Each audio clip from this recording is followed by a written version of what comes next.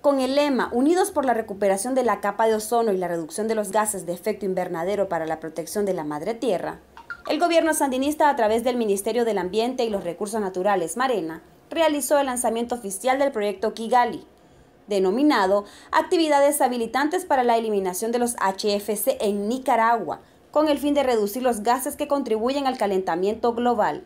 Este proceso que hoy vamos a iniciar es un plan de acción, un plan de actividades, es una estrategia de país que se suma al tema de bajar cada vez más y disminuir cada vez más los gases que afectan, eh, que contribuyen al calentamiento global.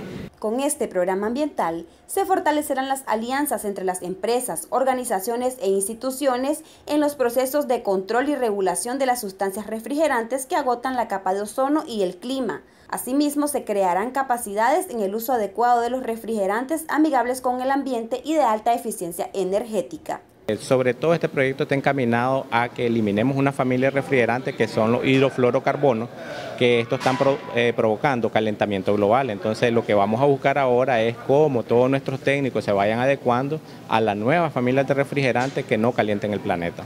Bueno, nosotros estamos eh, y se está promoviendo a nivel mundial lo que es el uso de refrigerantes naturales. O sea, volver al pasado, comenzar con el uso de amoníaco, CO2 y lo que son hidrocarburos. Ahí vamos a tener lo que son los propanos y los isobutanos principalmente.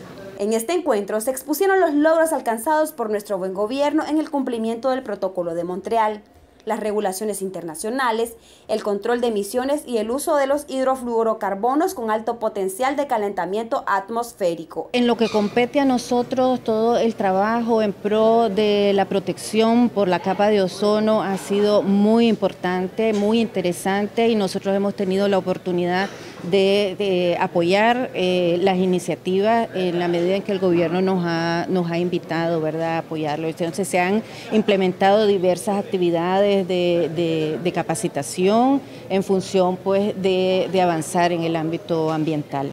Oficina de Comunicación Marena.